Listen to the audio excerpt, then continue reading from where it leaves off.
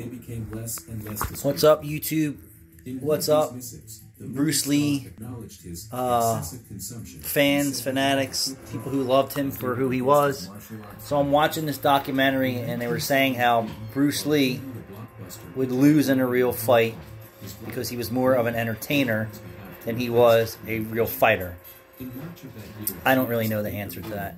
And they said if you took Bruce Lee today, if he came back as Bruce Lee and then you put him into a fight today, that he would lose hands down against today's people. That's very possible.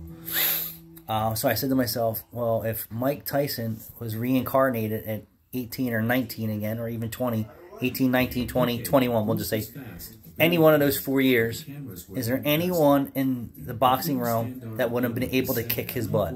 I would say no. There is no one that is badder than he was in that time frame.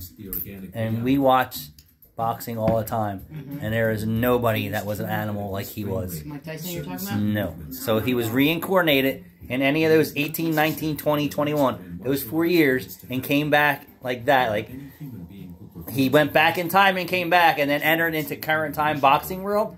He would annihilate. He would run through everybody. It's not the same. He is. A, he's a complete murderer when he gets in the ring. Now he's old and doesn't have the fire and all that stuff. But then again, if you put Bruce Lee in a mixed martial arts match at 140 pounds, would he lose against today's guys? I I don't really think so. Oh, and I tell you, you put Mike Tyson in there, the guy who's heavier or littler than him, he's just going to munch them right up like he's having lunch. What's your thoughts? Cinema is par excellence the art of the